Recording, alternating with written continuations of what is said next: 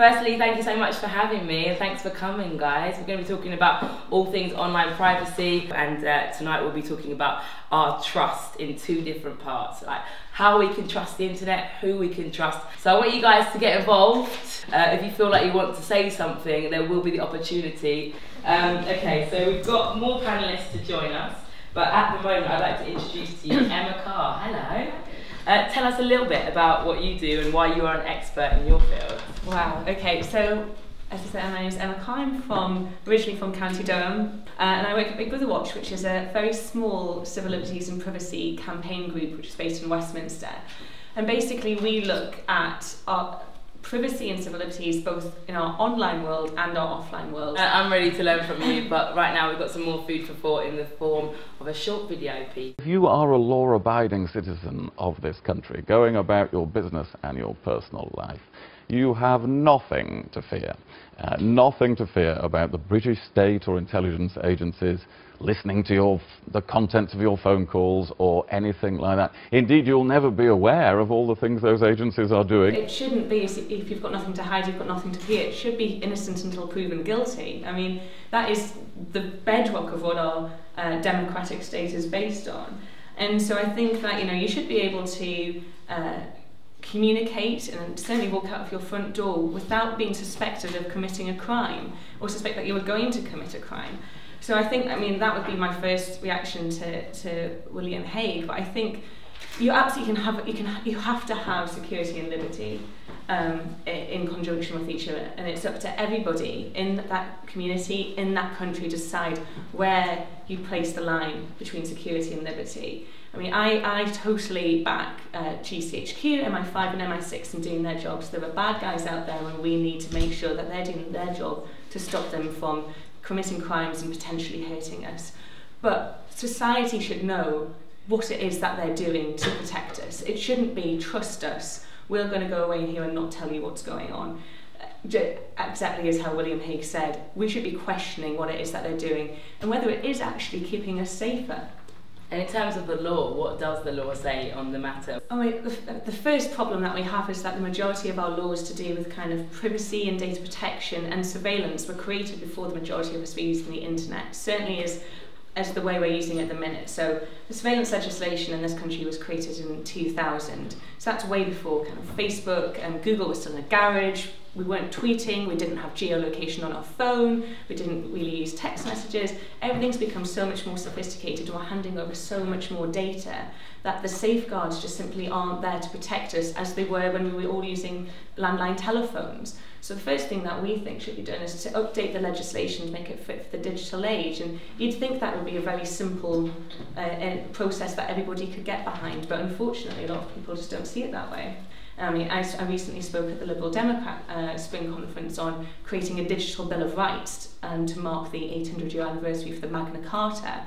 And so that's something that I'm really passionate about as well, creating something that says, okay, we shouldn't be treated any differently just because our communications are online as, as if, you know, I was to say something to you offline. Why should they be treated any differently? So I think that's something that we really want to progress and the only way we can do that is if we have guys like you demanding that from our politicians. So I think the balance in terms of A, the data that we're now sharing about ourselves because of our online communications, and the, the lack of power and understanding we have about how that's being used just kind of completely tips the scale in terms of the balance between the state and the individual. So would it be fair to say more conversation like conversations like this need to happen and that um, we all need to educate ourselves and equip ourselves for the future of privacy online. Absolutely, I think we all need to question both the kind of the, the government and of private companies about why are they asking for that information, who is going to access it, and what are they going to do with it. And I think part of the problem with our everyday lives is that it's so data driven. And you have to remember data is now a commodity. It's, data is a valuable thing that is sold on. So when we pass that on, we have to question why it is that we're doing that. I'd love to know what some of you guys think. When you kind of phrase it like this, it does count, sound really extreme and a bit stupid and very, you know, big brothery. Do you think that the argument that it is about our safety and to protect us from terrorism or whatever is the truth, or do you think there's a more sinister agenda at work here about just keeping tabs on everyone for the hell of it because that makes us easier to control as a population? I I don't think anyone goes to work in GCHQ, you know, they don't wake up every morning kind of rubbing their hands with glee and with kind of malicious intention. They're not cackling away. I think, but I think we have to be careful about what powers and what tools we hand over to uh, the people who have the ability to monitor us. We have to question that. They're going to use whatever tools they have available to try and stop the bad guys. I don't think there is necessarily malicious intentions out there. Um, but we have to be careful what powers we are giving them and make sure that they're proportionate to the threat that is actually to us as individuals and to our community. Do not get me wrong, I use all of the things that are kind of supposedly actively monitored by GCHQ and, and companies selling on data and things, but I do that feeling like I'm in the knowledge of what it is that is going on and it's about educating ourselves and, and people being transparent about what it is they're doing but the internet is an amazing thing and ha has so much power to help people and I think we need to hear much more about that side of things. So are we going to change the panel over and actually talk a bit about it more personally? Thank you so much Emma everyone. I'd like to introduce the panel Hannah Flynn and Claudia Andrew. Hello. Hello. Um, would you like to start by telling everyone why you are an expert? Okay, you can start. Okay, um, my name is Claudia Andrew. I'm 19 and I'm a young social media journalist, I call myself. I run a blog a couple of years ago about the Olympics. My name is Hannah Flynn. I work for the NSPCC. We provide the service called Childline. Who knows what Childline is? Everybody smiling, nodding. Did you know that the majority of people who contact Childline are over 11? Older than 11? A third of them last year that talked to us were 16 to 18 years old. It's quite, I think that's quite surprising. Yeah. Um, just to put in your mind why I'm sitting here, and we're not, we're not talking about six-year-olds who are too scared to pick up the phone, we're talking about people who are practically old enough to vote. Um, Childline is free, it's confidential, importantly for today, 24 hours a day, online and on the phone. And last year we had more contacts online than we did on the phone for the first time ever. So it's really important to us that we're trusted. I think you have to be very vigilant. So when a little box pop up, you know, saying that your privacy settings have changed, you can't just disregard it. You need to go and have a look. You need to spend some time and go through the settings. As boring as it is, you need to do that if you want to be kept safe. Mm. Yeah, I agree. I think in terms of trust on the internet, the only person you can actually trust in the end is yourself. Yeah. You have to develop your instincts and rely on yourself to get it right. Um, you can't trust the platforms that you're on because they can change their terms at any second. They can do what they want with your content, but providing that you are aware of everything that you're doing, and that's Mm. really hard, but I think you have Mm. to try. Um, then you have to keep perpetuating kind of a digital existence because there isn't really another option. It's really granular in that way. So it's it's an individual on a device that's in their pocket or in, on their laptop in their bedroom or on their tablet. Mobile phone ownership between 11 to 18 is now something like 95%. 80% of people 11 to 18 have a smartphone that can take pictures. So it's not that you have to go on the shared family computer anymore. You are you're completely free to do exactly what you want. And also the internet that you have is your own. So you, you follow the right people that you want to follow on Tumblr. You follow who you want to follow on Twitter. So you're, you're completely isolated in this really personalised experience and it can feel really safe, Mm. but it might It's not be. not.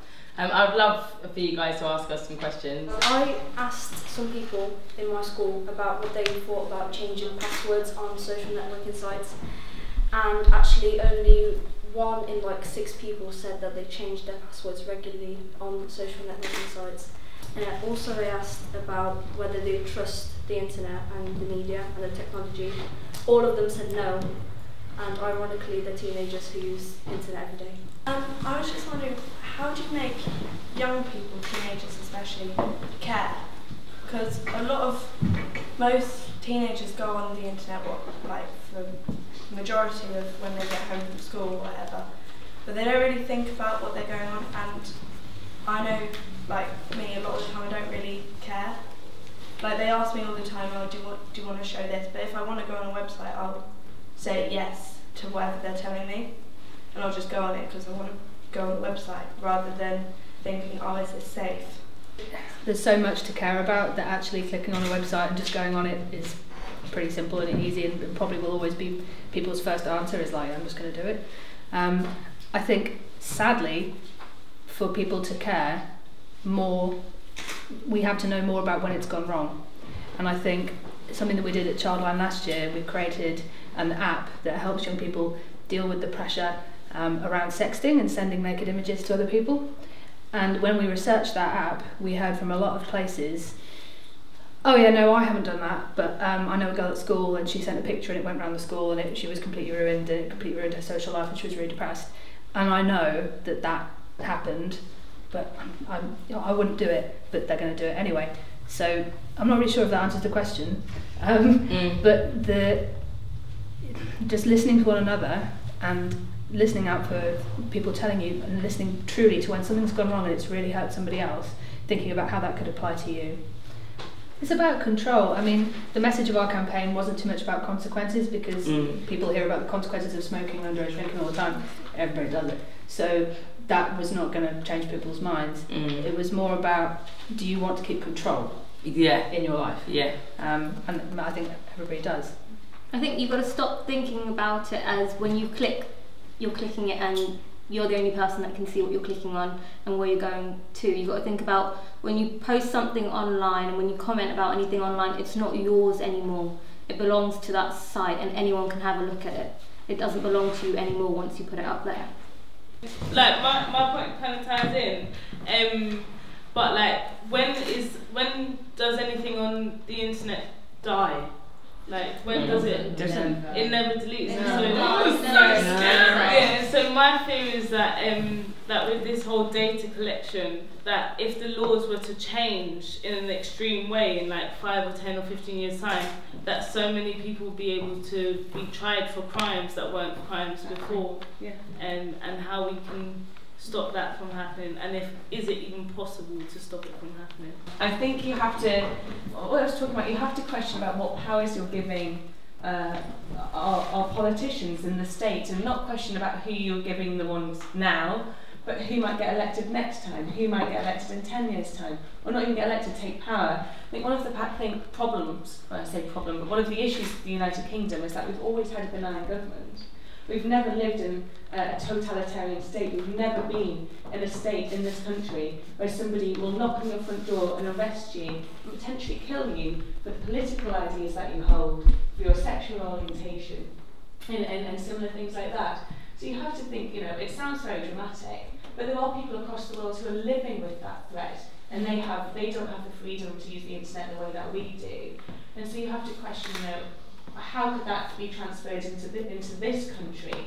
And actually do just the risk of that, that happening to us weigh up with the risk of um, you know the bad guys and, and how do we get that? So that's the whole point of security versus liberty. We do need to be responsible for, for lots of stuff and, and vote and learn about different political parties, ask questions, go to debates like these, and then try and engage your friends on just decent conversation when it comes to online privacy and everybody that's meant to be in control of us and sort of take that slightly into our own hands a bit more and, and be a little bit more engaged as, into what's going on. I think we have that responsibility. We can't just be like, we're young and it's hard and we don't care, it's hard for us. Like, it's up for us to change that. Okay, and we've got a final uh, poem from Deanna. Thank you. Her boyfriend hung up the phone on her. Said he couldn't hear her, though he sounded clear to her ear. He stuttered his excuse. I can't hear you. You're breaking up. Stand somewhere, anywhere other than where you have chosen to. She obediently lined up, aiming his name like her one goal game of money up. Her lucky penny flicked high, somersaulting through space, confidently falling head over heels, but it didn't land right. It bounced back, tails up. He hung up. She lay down face up, resigned to redial as ring rings, ring rings, ring rings ran round, chasing his voicemail, pleading him to shout into her vessel and make echoes bounce around like change. Hollow, she begged his investment to fall in and splash her sides with stories she could use to numb her captive thumbs and soothe silence through his sounds. She craved his dependence like the sweet nothing she'd taste on her tongue in the addictive way that as lovers they kiss passionately in the emptiness of dark streets and long nights that daylight put to sleep. When he called back, closed eyes scratched touch screen with gloved finger, aware identity, her identity's prints were to be taken, to be cloned, to be spread. But resistance can't exist without vulnerability, so fingertips stripped it tip marker to the right and she picked up. He was too weak to greet her. Too fatigued to say her name, blocked up and in need of a prescription. She hadn't heard of their conversation worse than she felt it. In a way, her arm trembled from the phone, held in hand, held to head, dead weight. She was breathing, forcing life into a corpse. But as she sighed her last, I love you, she saw him whisper, just trust me. Assured she stored those words. Ensured them for four to ensure her alarm would guard. Her alarm flashed light silently nine times when 36 prods from his inquisitive prince obscured the perfect black of their reality. But regardless of how her eyes would sting in brightness, they'd adjust in fast blinks, scattering tones until they found before, beneath, and she would reread, reread, reread. Just trust me. She reread, reread, reread, just trust me, as access denied his 11 symbols her sight because his credit had run dry. She rereads, rereads, rereads, just trust me as she realizes she has signed into a sacred IOU. Idolized his pay-as-you-go as a contract. She rereads, rereads, his small print written in metaphor, rereads, his signature a duplicate picture of a kiss, just trust. The line cut out after the signal crackled at the last spit. Me, she called, she's calling, she's calling for him to answer. I can't. I can't hear you. We're breaking up. Thank you.